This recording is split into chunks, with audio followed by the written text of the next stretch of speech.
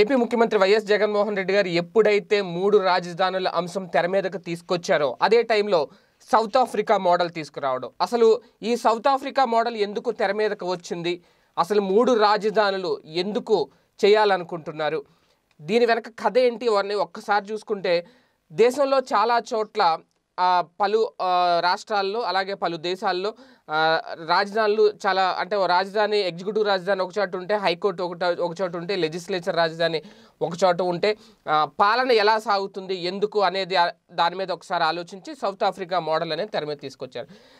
South Africa అంటే అందరికీ తెలుసు ముందు గుర్తొచ్చేది ఏంటంటే దక్షిణాఫ్రికాలో జాతి భేదం ఎక్కువ ఉంటుంది. నల్ల జాతీయులు తెల్ల జాతీయులు అని గతంలో మనం సౌత్ ఆఫ్రికా అంటే ఒకప్పుడు గాంధీజీ గారు రైల్లో వెళ్తున్నప్పుడు ఈయన నల్ల జాతీయుడు అని చెప్పి రైల్లోంచి తోసేసిన ఒక దేశం అనమాట అది సౌత్ ఆఫ్రికా దేశం.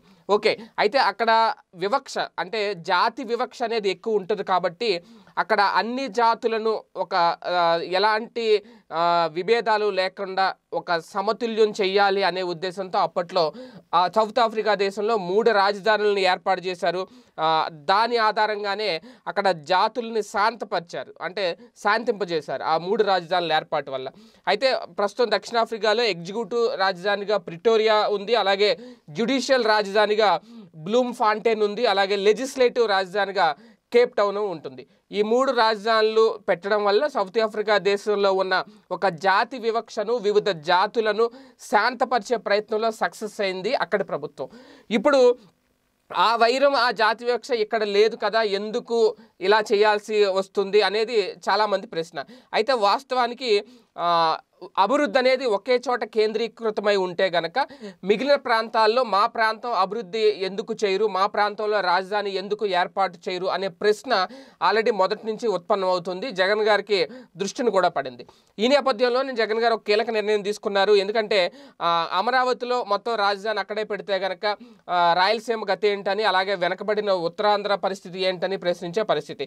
ఇదే టైంలో కర్నూలులో దాదాపు ఒక తొంభై ఏడు రోజుల నుంచి అక్కడ హైకోర్టు ఏర్పాటు చేయాలి చేయాలని చెప్పి న్యాయవాదులు ఆందోళన దీక్షలు చేస్తున్న పరిస్థితి. ఇలాంటి టైంలో జగన్ గారు ఈ కీలక నిర్ణయం తీసుకోవాల్సి వచ్చింది. ఒక గురుతర బాధ్యతను ఆయన గుర్తుంచుకొని మొత్తం అన్ని ప్రాంతాలకు సమానంగా న్యాయం చేయాలని చెప్పి కర్నూలులో జ్యుడిషియరీ సంబంధించి రాజధాని అక్కడ పెట్టడం ఎగ్జిక్యూటివ్ క్యాపిటల్ విశాఖలో ఏర్పాటు చేయాలని అనుకోవడం అలాగే అమరావతిలో ఇది లెజిస్లేచర్ లెజిస్లేచర్ రాజధాని ఏర్పాటు చేయాలనుకోవడం.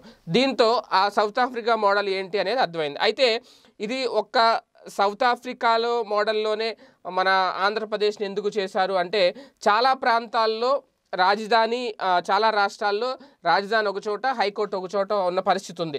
ఒకసారి ఆ రాష్ట్రాలు ఏంటి ఎక్కడ రాజధాని ఉంది ఎక్కడ హైకోర్టు ఉందని ఒకసారి చూద్దాం. ఉత్తరప్రదేశ్లో చూసుకుంటే రాజధాని లక్నోలో ఉంటే హైకోర్టు వచ్చి అలహా అలహాబాద్లో ఉంటుంది. అలాగే ఛత్తీస్గఢ్లో చూసుకుంటే రాయ్పూర్లో రాజధాని ఉంటే బిలాస్పూర్ హైకోర్టు ఉంటుంది. గుజరాత్ గాంధీనగర్ రాజధాని హైకోర్టు వచ్చి అహ్మదాబాద్. అలాగే కేరళ వచ్చి తిరువనంతపురం రాజధాని కొచ్చిలో హైకోర్టు. అలాగే లక్షద్వీప్ కూడా కవరాటి రాజధాని కొచ్చి హైకోర్టు. మధ్యప్రదేశ్కి వచ్చేసరికి భోపాల్ రాజధాని అలాగే జబల్పూర్లో హైకోర్టు ఉంటుంది. ఇక ఒడిస్సా చూసుకుంటే భువనేశ్వర్ రాజధాని ఒడిస్సాకి కటక్లో హైకోర్టు. రాజస్థాన్ చూసుకుంటే జైపూర్ రాజధాని రాజస్థాన్కి అలాగే బోధ్పూర్లో హైకోర్టు ఉంటుంది. ఉత్తరాఖండ్లో డెహ్రాడూన్ రాజధాని ఉత్తరాఖండ్కి నైనిటాల్లో హైకోర్టు ఉంటుంది. గోవా పానాజీ రాజధాని ముంబై హైకోర్టు. అరుణాచల్ ప్రదేశ్లో ఇటానగర్ రాజధాని గౌహతి హైకోర్టు. అలాగే మిజోరాం ఐజ్వాల్ రాజధాని గౌహతిలో హైకోర్టు అది కూడా. అలాగే నాగాలాండ్ కూడా గౌహతిలో హైకోర్టు కోహిమాలో రాజధాని. ఇక పాండిచేరి విషయానికి వస్తే పాండిచేరిలో రాజధాని చెన్నైలో హైకోర్టు. ఇలాగా ఒక్కొక్క ఒక చోట హైకోర్టు ఉంటే ఒక చోట రాజధాని ఉండడం ఇదంతా అంటే అక్కడ పాలన సక్రమంగా జరగట్లేదంటే చాలా అద్భుతంగా జరుగుతుంది. ఎలాంటి ఇది లేదు. సో ఇలా అందుకే సౌత్ ఆఫ్రికా మోడల్ని తీసుకున్నారు వైఎస్ జగన్మోహన్ రెడ్డి గారు. దీంతో పాటు ఏ ఏ రాష్ట్రాల్లో ఎక్కడ రాజధానులు ఉన్నాయి ఎక్కడ హైకోర్టులు ఉన్నాయి అక్కడ పాలన ఎలా జరుగుతుంది అనే దాని మీద కూడా ఒక నివేదిక తెప్పించుకొని దాని మీద కూడా ఒక అధ్యయనం చేసి ఈ డెసిషన్ ఎందుకు తీసుకోకూడదు అనే ఒక ప్రశ్న ఆయన సభలో రేజ్ చేశారు.